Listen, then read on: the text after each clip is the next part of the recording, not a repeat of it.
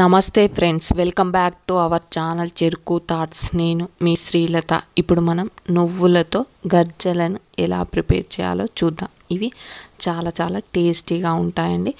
మనం స్టఫింగ్ కోసం నువ్వులను కానీ అదేవిధంగా పల్లీలను కానీ ఏవైనా యూజ్ చేయొచ్చు. నేను ఇక్కడ నువ్వులు యూజ్ చేస్తూ గర్జలని ఎలా ప్రిపేర్ చేయాలో చూద్దాం.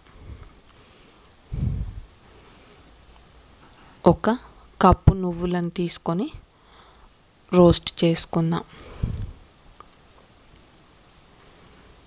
చూడండి నువ్వులు కంప్లీట్ వేగిన తర్వాత మనం మిక్సర్ జార్లోనికి తీసుకొని ఒకసారి బ్లైండ్ చేసుకుందాం. మెత్తగా ఇలా ఫైన్ పౌడర్లా బ్లైండ్ చేసుకొని ఒక కప్పు బెల్లం వేసుకొని కట్ చేసుకున్నటువంటి బెల్లాన్ని ఒక కప్పు వేసుకొని బ్లైండ్ చేసుకుందాం. ఇప్పుడు మనకు స్టఫింగ్ అనేది ఇలా రెడీ అయిపోయింది. చూడండి దీన్ని ఒక బౌల్లోనికి తీసుకుందాం.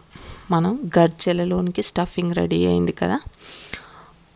ఒక కప్పు మైదా పిండి మైదా పిండి తీసుకొని దీనికి చిటికెడు సాల్ట్ కూడా యాడ్ చేస్తూ వాటర్ యాడ్ చేసుకుంటూ మనం గట్టిగా చపాతీ పి ముద్దలా ప్రిపేర్ చేసుకుందాం.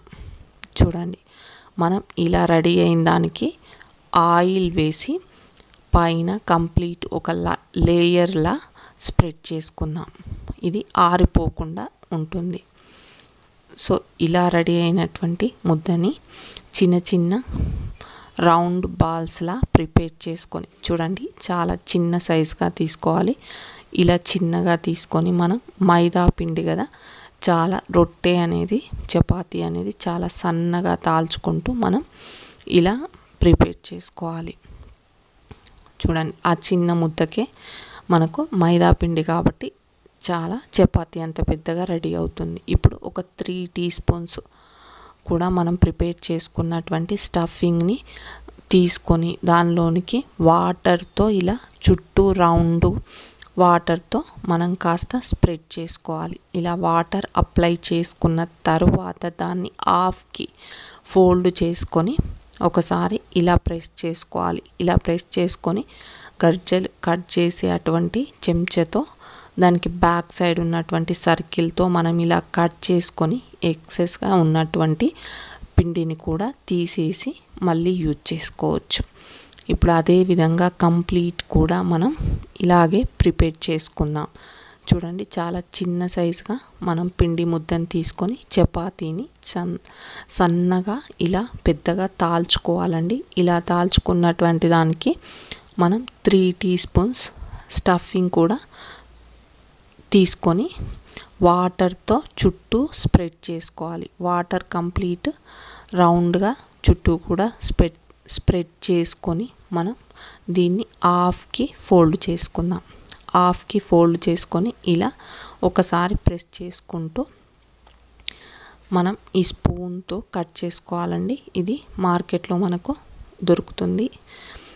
దీంతో ఇలా కట్ చేసుకొని చుట్టూ ఉన్నటువంటి పిండిని తీసేసుకోవాలి. చూడండి కంప్లీట్ ఇలా మనం ప్రిపేర్ చేసి పక్కన ఉంచుకుందాం. ఇప్పుడు డీప్ ఫ్రై కోసం ఆయిల్ పెట్టి మనం ప్రిపేర్ చేసుకున్నటువంటి అన్ని గజ్జలను కూడా ఫ్రై చేసుకుందాం. చూడండి టూ సైడ్స్ కూడా వీటిని తిప్పేసుకుంటూ మనం ఫ్రై చేసుకోవాలి. లైట్ బ్రౌన్ కలర్ వైట్గానే ఉంటాయండి. అక్కడక్కడ లైట్గా బ్రౌన్ కలర్ వచ్చేంత వరకు కూడా మనం ఆయిల్లో ఫ్రై చేసుకొని తీసుకోవాలి. చూడండి మనం ప్రిపేర్ చేసుకున్నటువంటి కంప్లీట్ అన్ని ఖర్చులను కూడా ఇదే విధంగా ఆయిల్లో డీప్ ఫ్రై చేసుకుంటే సరిపోతుంది. లైట్గా బ్రౌన్ కలర్ వచ్చేంత వరకు కూడా ఆయిల్లో మనం ఫ్రై చేసుకోవాలి. ఫ్రై చేసిన వెంటనే వీటిని ఒకదానిపైన ఒకటి ఉంచకుండా ఇలా ఒక లేయర్లా పెట్టుకోవాలండి. అప్పుడే అవి మనకు గట్టిగా ఉంటవి. ఇవి చాలా టేస్టీగా ఉంటాయి. ఎంతో టేస్టీ అయిన నువ్వుల గజ్జలు రెడీ అయిపోయాయి.